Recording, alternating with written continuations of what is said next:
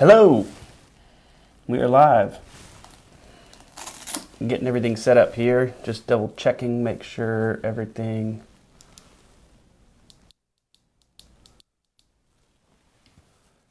Hello, Faith. How are you? We are getting all set up. I finally got this thing to work in landscape mode. I think I did anyway. Um, welcome, everybody. If you're just joining us, this is our third live uh, episode on Facebook for the Lumber Society. Woot woot! And um, I'm Chris Hyde. I'm your camp master, camp master, and uh, excited to be here for another event. Tonight is all about survival mindset and survival mentality and psychology, things such as that.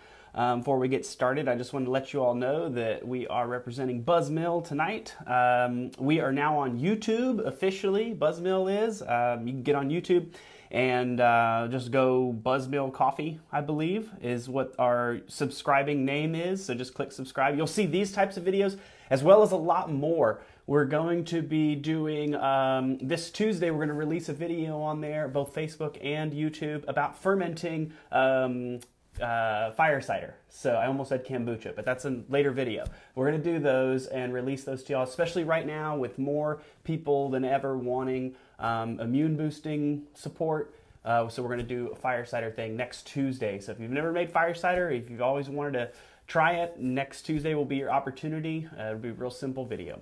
Um, we also just wanted to let you know that we did listen to what y'all's requests were about uh, opening and starting a group and that group is going to be on Facebook. Um, we potentially might go uh, another route in addition for you know anyone who just isn't on Facebook. You know, maybe we'll just have a, some kind of other hub. But for now, everybody can meet on Facebook, uh, and that group is called the Lumber Society community chat group. And so that's the place where if you want to post photos of your adventures, post photos of your animal tracks you find, post photos of your cool skills that you've been working on, knife carving projects, shelters you built, all that stuff can go there. Uh, it's different from our Facebook page because obviously the Facebook page, Facebook looks at our page and goes, oh, well, you're a business, you're trying to advertise.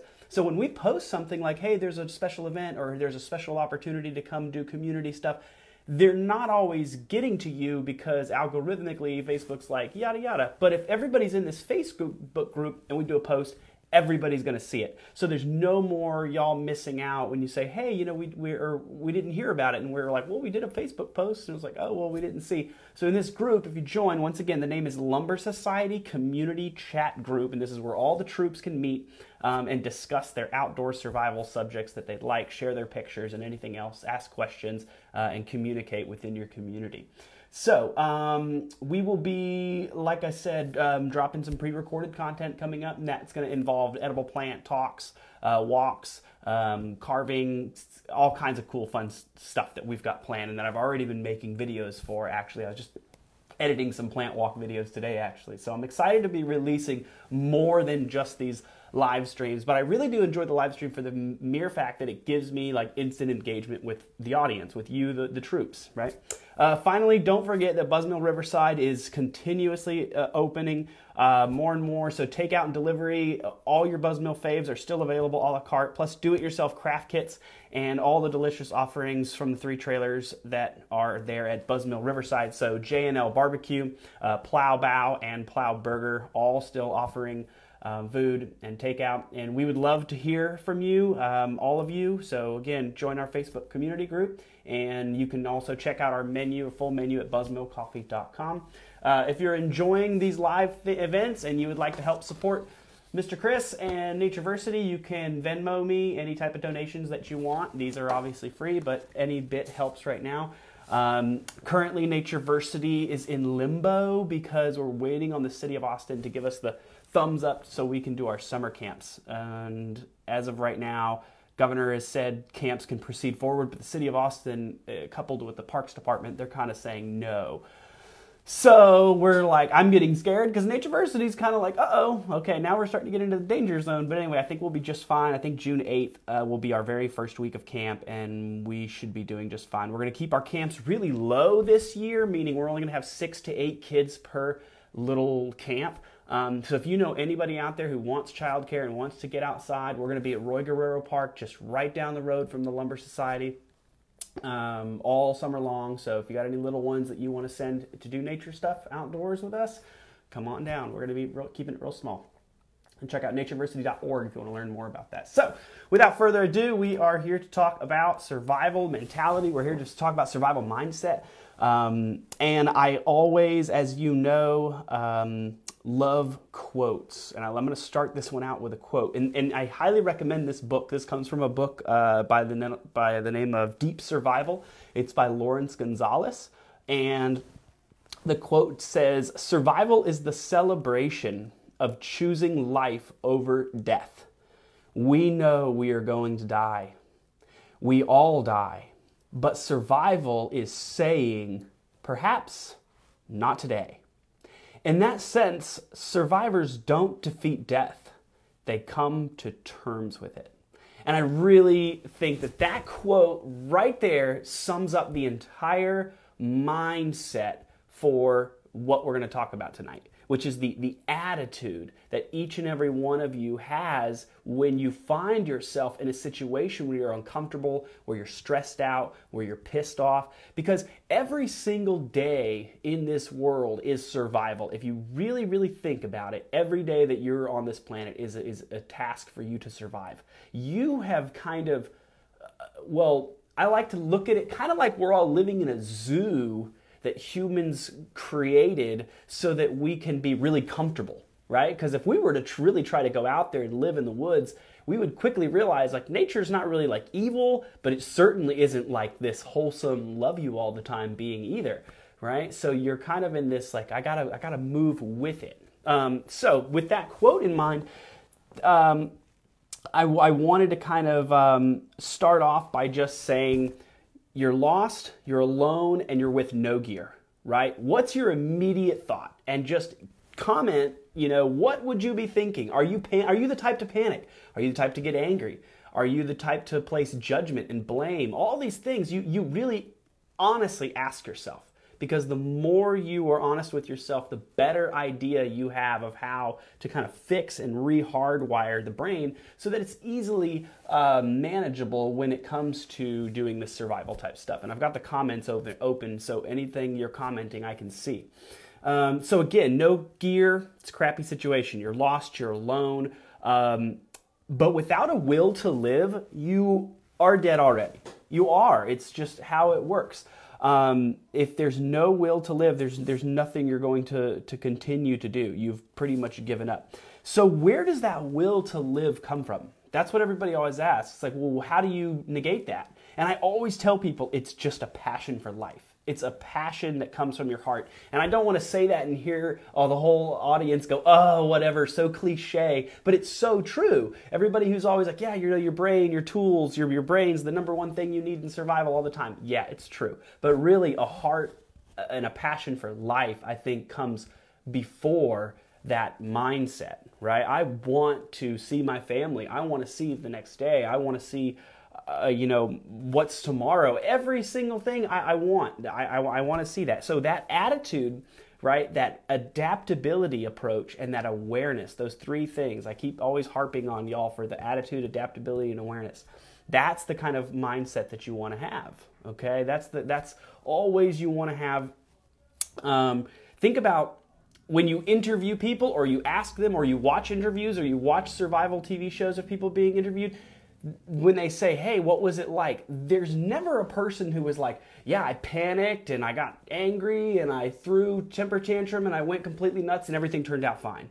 It's always the story is this, this man or this woman who says something like, well, I had to keep it together. I had to keep it calm, right? I had to maintain my poise. I want to bring your um, attention to those two girls from California, okay? I, I, I think those two little girls, five years old and eight years old, went off for a walk one day. That's it. They were in their backyard. They went out for a walk.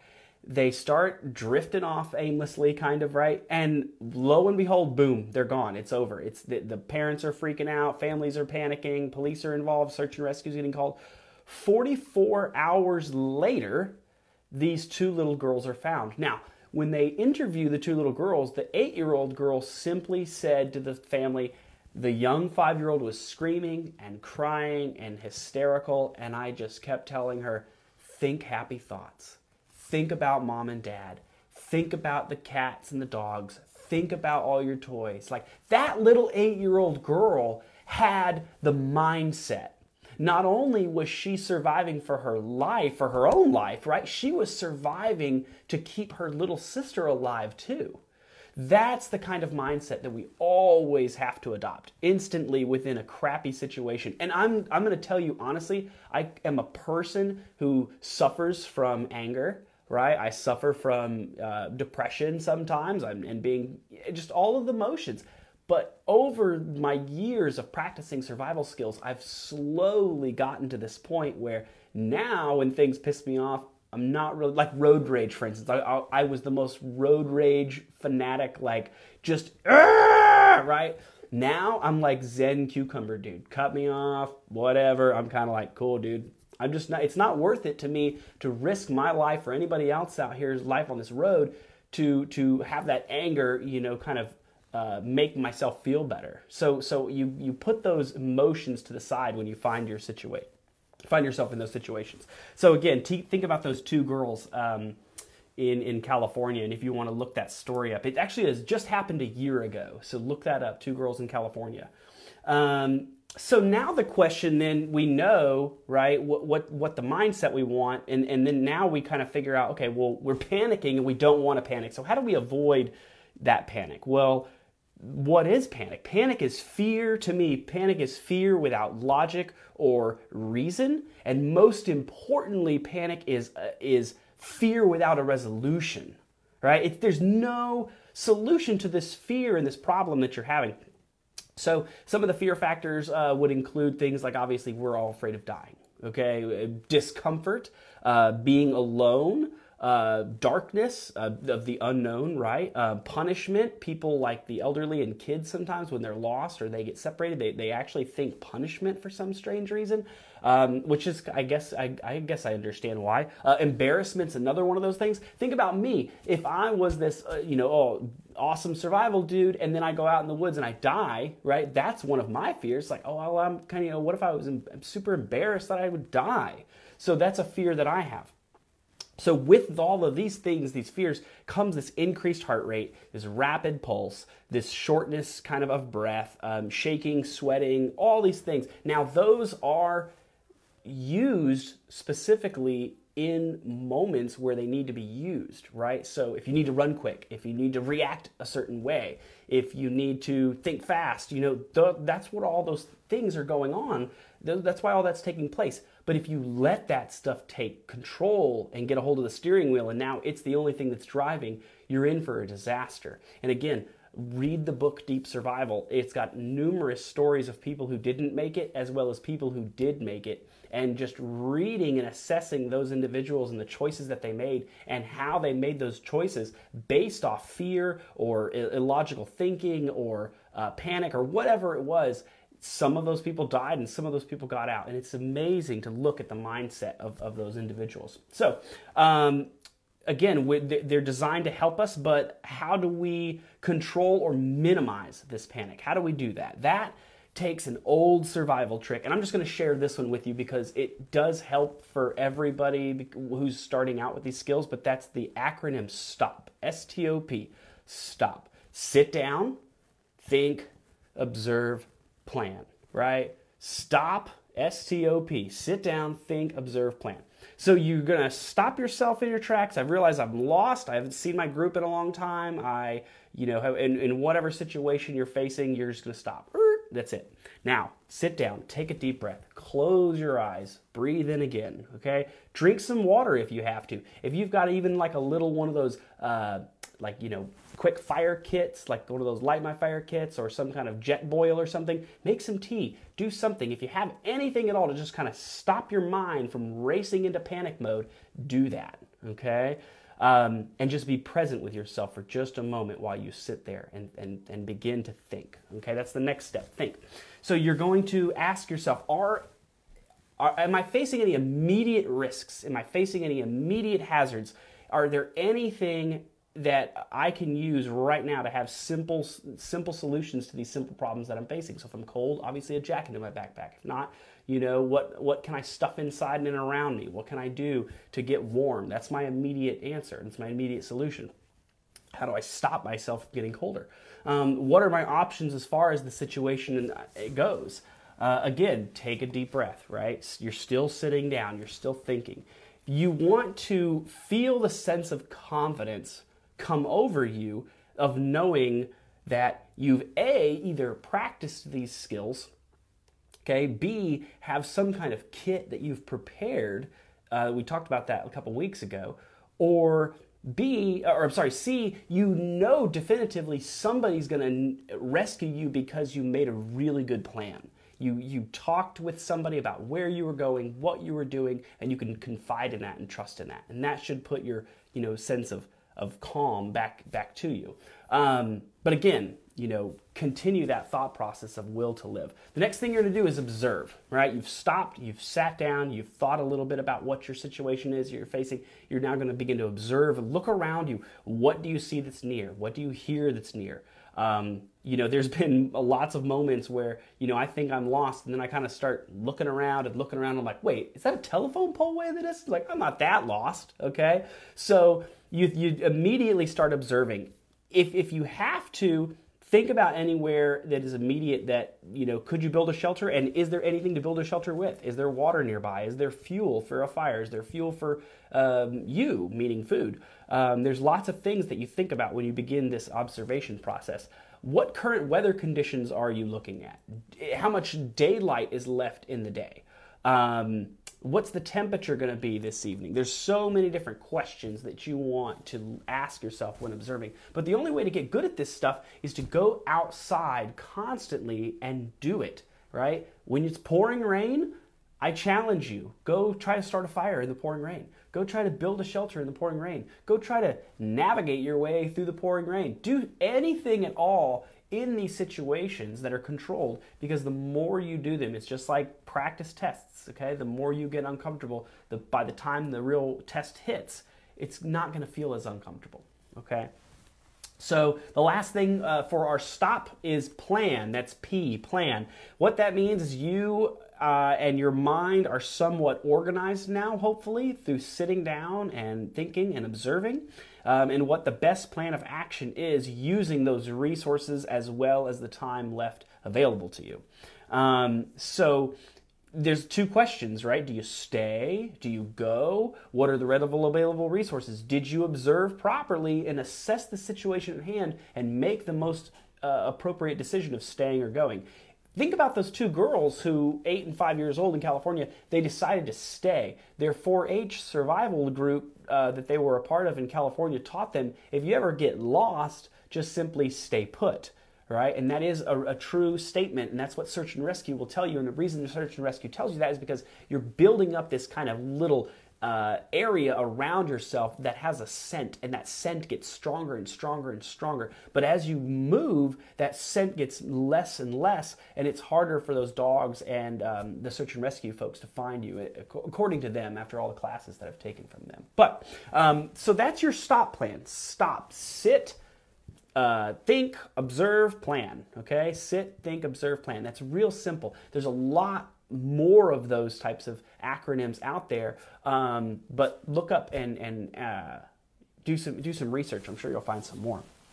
So, moving on, um, a couple of other things while you're doing your stop technique. Again, I said uh, you can lay down, you can make a fire, you can, you know, roast something if you've got something to cook. Any a fire mentally in survival is so amazing and just how it brings you this peace of mind. I don't know what it is. It's, it's like caveman TV. There's just something very comforting and nurturing about a fire. Me personally, I think subconsciously we see that entity and we know that that's another living entity next to us, and there's comfort in that. A fire breathes, it eats, it, it, it consumes, it produces wastes. The only thing it doesn't do is sleep and drink water like we do.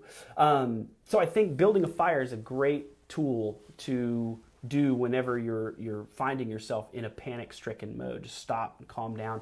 If you really think about it too, when you focus your attention on something for a long time, fear and panic and stress and worry, have you ever noticed that all that stuff kind of goes away? And like, let's say you're getting out of a bad relationship or something and you're still thinking about that person and you're just like, dang, but then you find yourself doing some hobby you haven't picked up in a long time and you're like, wow, this, I haven't thought about the stress or the anger or the hurt, you know, in, in a long time. Focus your attention. Focus your attention. That's the mindset that you want to have as a survivalist is be productive and proactive. Uh, to improve your situation, obviously. Don't make it worse. so, um, coming back around to a mindset that a lot of survivalists have um, that I've met, and not so many that I have met, you, you kind of get two, two extremes here. Okay, on one side, you got like the Taoist hippie tree huggers, and then on the other side, you've got like the radical slash and grab. I better have my kitchen sink in my backpack too, or else this bushcraft adventure is going to suck right? And you don't really want to be on either one of those things. To me, the, the, the tree hugging type nature is going to take care of you people. It might create this, this thought of pacifism in your mind in a way that's like it's okay. Just blend and ebb and flow with nature's beauty and harmony and and all this stuff. I've heard this. I've been to survival schools where they literally this is what they tell you but then i've been to the other side where they're like just cut the whole forest down and build a city and I'm like, I don't think either one of those things is the solution, man. But the idea is somewhere in the middle to me. So, yeah, live in harmony, but at the same time, utilize the tools and the mindset of getting yourself out of that situation that's uncomfortable for you, right? Um, so, a um, couple of exercises you can do. Okay, a couple of exercises that we can all do uh, and, and what this really does is just kind of helps the brain become more of a survival type esque brain, right? And obviously, we're, we're always surviving, like I said earlier, that comment and that quote that I read to you all. But this first exercise is going to be about problem solving. And this hopefully will spark a lot of you out there to kind of re examine the way you solve problems, hopefully. Uh, the next time you're faced with a problem, anything at all, big, small, medium, whatever, step aside and re- observe the way you reacted to that problem initially. Were you pissed off? Did you feel helpless? Were you, you know, hurt? What was it? What what instantly did you feel? And and write that down, right? The next thing you can do is just learn from it. Like even if you felt you reacted appropriately, observe again and again and again and just constantly stepping back and looking at the way you handle situations will really show you what kind of mentality that you have. That'll put you into this context of okay so let's say i'm actually lost right? When i found myself without my phone the other day and or google maps wasn't working and i couldn't get directions like how did i handle that? Was i pissed off? Was i angry at the phone? Like how did i manage? So again little things like this think about those and, and be mindful of how you react. You're going to be growing exponentially, hopefully, in a positive way because now your mindset's going to be this more calm demeanor, this less stressed demeanor. If you start going out into the world and practicing these skills, I have taught people how to make fires thousands of times, and I've taught people how to make fires so much that I've seen every type of reaction to fire making. I've seen the super angry, pissed off dude to the I, I don't even want to twist the spindle into the string because I'm not strong enough, you know, woman. And, and, I, and I'm not saying she wasn't strong enough. I'm saying she didn't believe in herself, right? So you've got these two chasms, eh, but you, you want to kind of find that happy medium balance, okay? Um, so that's kind of problem solving, just basically acknowledging how you react to a situation and then, and then observing it from an outside perspective. Uh, oh, by the way, ask your friends how you re- react too. Get their feedback because sometimes you know it's kind of like a weird thing the way we um, understand ourselves. I always I always ask for uh, external feedback from people. Uh, the next thing is facing illness. This is one of my favorite things to do, and you're probably going to be like, "Man, Chris is crazy. Why would you do that?" But f- next time, uh, every time I'm sick, and the next time you're sick, try not complaining about being sick. Right? try to be like, oh, I'm gonna see if I can get this done like while I'm sick. And I know you're supposed to be resting and you're supposed to be healing and you're supposed to be doing all these things, but that's the idea is to see in stressful moments, in moments of uncertainty, in moments of uncomfortability, what are you capable of doing? right? That's that's the question we're all asking ourselves here in, in the world of survival as a lumber society is how capable are we? So the next time you're sick, try to push through and do something. To, i'm not saying go out and get other people sick but meaning like around the house and you know pick up your chores. I remember a couple of times i was sick and my roommates were like just, just lay there dude. Just don't do anything. We'll take care of everything. And i felt really gracious that i had such a community. But then later on down the road i was like no no no no. I got this. I got this man. I'm fine. I'm fine. And they were always like okay well you know i just i wanted to push through. I wanted that mindset and I wanted that attitude and that confidence to believe in myself. If I got into a crappy situation, I can keep going. Um, next thing is comfort control. This is where a lot of y'all are going to go, yeah, right, I'm not doing that. That's nonsense. The idea here is to continuously torture yourself. and what I mean by that is continuously find a way to put yourself in uncomfortable situations. I'll give you an example. When I was younger, uh, my mom and I living in a house, we didn't have AC for a few summers. And I've never been so freaking hot and miserable in all my life. But now I teach outside in June and July and August summer camps outside for kids, and I'm fine. Whereas normal people in Texas are like, "Are you crazy?" You know. Um, but it's totally normal for me to be just 100 degree heat and fine. Um, I think with adequate water, anyone can go anywhere in the world and be fine. Uh, but make yourself uncomfortable, meaning try to get less sleep sometimes here and there. I'm not saying do this for your work week, but if you've got a weekend, right, where you're like, hmm, let's see what happens. Like, stay, uh, sleep only a few hours and then go do some job and see what happens, right? See if you could push yourself. This is what this is all about: is is fun, controlled atmosphere and, and setting um, while pushing skills. And that's a, that's all I had for those couple of exercises. You want to learn skills if you're starting out that can apply to everything. That's the most crucial thing that I teach people as of right now. I just did an interview with a couple of folks uh, about an hour before this, and one of the things they were asking me was like, "What can people who get started right now in this world of survival and stuff? What can they do?" And I always just tell people, you know, don't look at it like that. Like, look at it in the big term. Look at it in the big picture. The big picture is we need to slowly find a way to make our homes and our houses sustainable, right? So, like, don't just learn the survival skills, like, actually study water and where it comes from, like, how you can get it at your house. Study edible plants more, like, study how to grow gardens, study how to harvest uh, sunlight, study, study all these different things. Don't just study the survival skills, but study skills that can be applied in a wide variety of areas. We talked about um, bushcraft survival bags last week, and we were talking about tools that you bring with you that aren't just one function tools. So if I've got a pair of pliers and it only crimps things and grabs things, well, it's like that's it. But on my multi-tool, if there's a pair of pliers, well, now it's a multi-tool, saw, uh, you know, sandpaper, scissors, screwdriver. There's a lot of tools in that little thing, plus pliers right? So learn skills that can be applied to a lot of different areas. Um, I don't have a big list in front of me of what all the skills would be, but you see what I'm saying and where I'm going with this. So, uh, with that, I just want to open it up to any questions that any of you may have. I also wanted to check in with everybody and ask Did you start a bushcraft journal? Did you start a lumber society journal? Did you start a nature journal? Have you used it? Uh, did you go out and pick a little spot to do your sit spot at? That was from a few weeks back, one of our very first live streams. Um, did you put together a bushcraft pack? I put put together um, one for for Lumber Society. It's got all kinds of little goodies inside there. Um, yeah, let's see some comments or questions or anything else. And uh, if not, we are that was all I had for this evening. Don't forget, uh, you can Venmo at Natureversity if you'd like, and don't forget to check out buzzmillcoffee.com. They're still open and they're taking orders to go. All kinds of cool stuff is going on there. I don't see any comments. Am I like notes or my chat turned off? I'm gonna check on this other thing real quick. Maybe chat's turned off. Let's see. Oh no, it's feedback. uh, all right. Okay, I see one comment here says, I would think, what would Chris do? What would Chris do? I don't know. What would I do? so it all depends on the situation. I think my worst fear is probably the like Arctic tundra.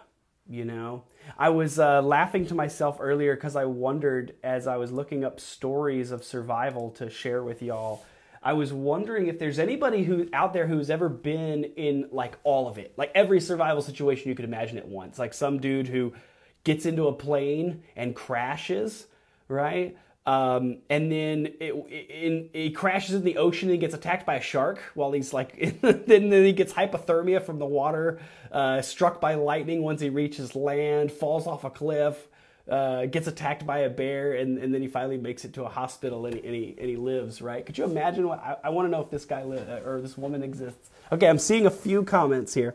Um, looks like says Natureversity reads backwards on the paper. Oh, it reads backwards on the paper. That's weird. Oh, that's strange. I bet I. Let's see. is, is, that better? Is that, does that work? At Natureversity. Uh, a couple more comments. I started my nature journal so far. I have one page on poison ivy and blue jays. Yes. What did you learn about blue jays? Blue jays are fascinating birds. They're so they're so loud and noisy and obnoxious. If you're one of those people out there who's trying to learn bird language, don't start with blue jays. Don't start with trying to figure out what they're talking about. They're kind of just squawkers and they're just going to complain and gripe about things they find around is what I've noticed a lot. Like I, I, always see them going after snakes. Anytime I see them like congregating somewhere, I'm like, usually there's a snake over there. And uh, rat snakes are often in the trees when I see them. Um, very cool. So if you haven't joined our Facebook group, it is the Lumber Society Community Chat Group. Look that up on Facebook, and that'll get you access to all the different little PDFs and downloads and videos and other things that we're sending out. If you have any questions about a survival mindset or mentality that you'd like to ask, now's your chance. Um, once again, I hope y'all are enjoying all these live streams. I'm really enjoying them. I'm in my office tonight. Uh, I'm usually in my kitchen doing this, but tonight I wanted some books behind me and my bows. And I'm going to slowly set this area up more and more to have little nature kind of lumber society esque stuff. I think we're going to do a live stream from the Buzz Mill soon, which will be cool. Hopefully, Mark and I can do that. Um, let's see, we've got a question here. Looks like it says uh, Chris from Christy. A couple weeks ago, we were hammock camping. The first night was hot, the second night was freezing. We went in survival mode packed as much as I could around me to keep warm. Yeah, hammock camping is weird. I'm the exact same way. The first time I went hammock camping, I thought this is going to be sweet, and then I froze my literal butt off because of the convection, right? The wind going underneath you. Now they have these Eno hammocks where there's some kind of like zipper and you put this pad in there and then it you know prevents the convection the, the wind going across your bottom half from freezing you to death um, but yeah, hammock camping's fun if you've got you know ways to keep warm. Okay, um, thanks for sharing that, Christy. By the way, uh, I okay. It's from Diane Fox. Says I have been taking pictures of all the bugs and animals I find on my nightly walks. Oh, awesome! If you have been taking lots and lots of photos of nature and you have not downloaded an app called iNaturalist, right? iNat. You just type in literally I, the letter or I, and then N-A-T, iNaturalist.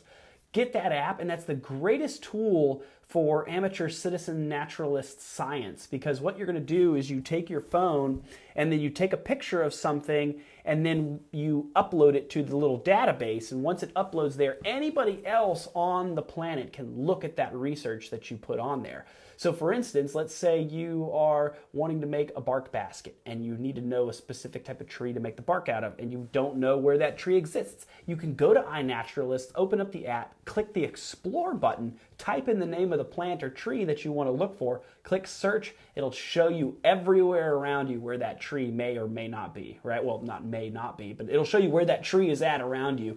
And then you can go and look for it. And if it's, you know, something like privet, for instance, that's what I harvest the most bark of. It's an invasive exotic plant. So, you know, the city really loves us taking it out. So um, look for that and use that app, iNaturalist. It's a wonderful tool. Also, if you're an animal tracker, this is the best tool for animal trackers because all you got to do is type in whatever animal you want to see the tracks of. It'll bring up where people have seen those tracks and send you straight there. So really exciting there. Um, finally, I've got a wildlife tracking video that I'm going to share with you all after all the heavy rain that we just had. I was over tracking by uh, Buzz Mill, and there was a lot of animal tracks over there. So I'm going to share that video with you um, next Thursday when we have a break. So I hope y'all all have had a great evening. I hope you've enjoyed this conversation and this discussion about survival mindsets and mentalities. Thank you so much um, for all your contributions and for participating in this. Uh, if you have any questions, feel free to join our Facebook group. You can leave them there. I'll be uh, adminning that. You can also post anything you need questions answered to on iNaturalist if you simply upload it and then click uh, I need ID help. That'll get you that ID help. Uh, my name on there is just Chris Hyde, just like it's spelled. And look for me on there. I hope to see you all on there. Y'all have a great evening. Thanks so much for another wonderful night. And we'll, uh, y'all stay safe. We'll see you hopefully soon. Thanks, everybody.